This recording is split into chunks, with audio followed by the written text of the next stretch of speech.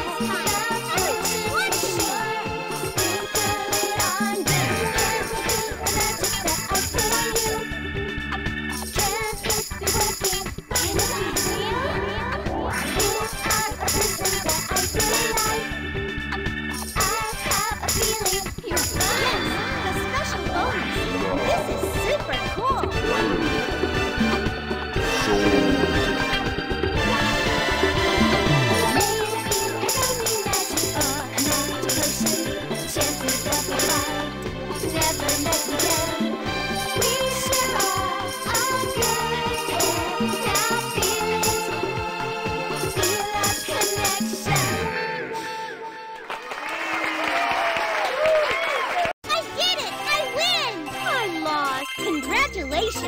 You can get secret information from the official Dress Up and Dance homepage. Trade places with the next person in line, okay? Do you have your cards? Be careful not to forget anything.